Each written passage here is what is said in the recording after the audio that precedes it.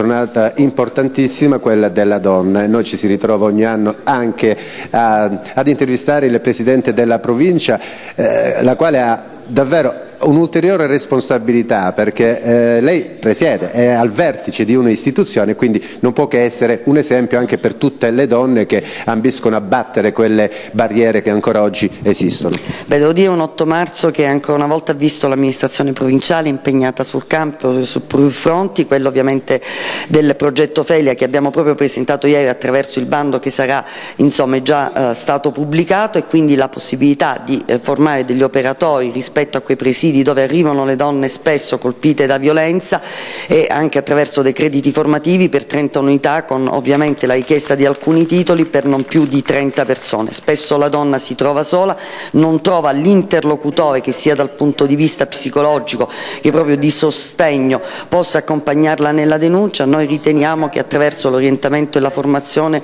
eh, questo sia un passaggio importante. Altrettanto ieri sera quel magnifico eh, concerto di James Taylor, una delle delle 12 date italiane che ha visto il raccolto in beneficenza alla Fondazione Solidale di Don Piero Pullisi e che ovviamente il raccolto va proprio alla casa del Rosell'Azzurro che accoglie queste 14 ragazze madri o non ragazze madri che comunque sono vittime di violenza. Oggi parliamo del Rene, pomeriggio avremo altri appuntamenti per poi chiudere domani alle 17.30 con un libro leggeri, Pensieri leggeri di Anna Maria Longo, il ricordo di una donna che ha fatto tante battaglie battaglie a favore delle donne e quindi la possibilità di questo connubio cultura, eh, politiche sociali, formazione e soprattutto solidarietà. Abbiamo in qualche modo una visione al femminile di questa nostra città, abbiamo una visione al femminile di questo nostro territorio provinciale, vorremmo che attraverso gli occhi e le parole e le azioni delle donne tutti quanti eh, costruissimo